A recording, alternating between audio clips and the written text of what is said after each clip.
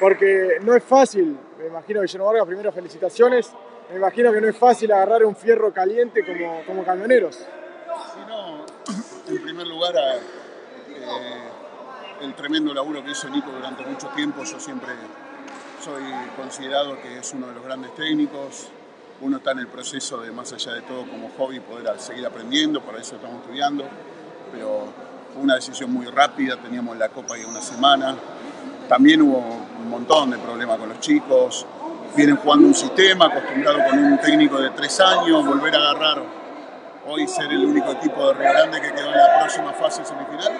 Pero bueno, todo mérito de ellos. Nosotros tratamos de afinar dos o tres cosas y después con Juan nos pusimos todo mérito de ellos. El partido comenzó complicado porque estaban 2 a 0 abajo. ¿Cómo lo manejaste vos en la cabeza de ellos? Porque no debe ser fácil tampoco. Mira, nosotros siempre fuimos un equipo que nos costó cuando estamos llegar muy claro a la segunda pelota, la segunda pelota en el arco. Y no me escuchaban, no me escuchaban, no me escuchaban, entraron como locos un primer tiempo. También miran el resto de los partidos.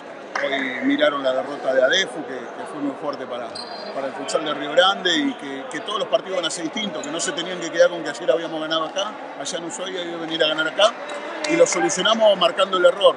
Vos fíjate que marcamos la diferencia de, poder hacerle dos goles rápido en el comienzo del segundo tiempo y después manejar el partido. Y dentro del manejo del partido ha sido el resultado que hoy los chicos tengan la posibilidad de jugar la semifinal de la Copa Argentina Tierra del Fuego.